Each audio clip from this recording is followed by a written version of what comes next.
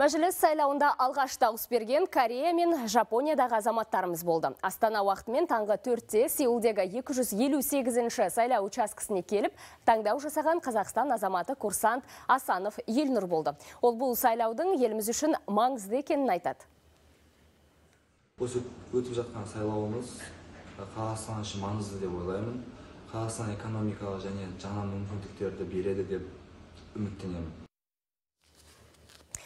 Сондай-ақ осы уақытта Бейжің, Шанхай, Гонконг, Сингапур, Куала Лумпур, Улан Батыр қалаларындағы дауыс беру учаскелерде жұмысын бастады. Айта кетейік, әлемдегі 62 мемлекетте 77 сайлау учаскесі ашылған.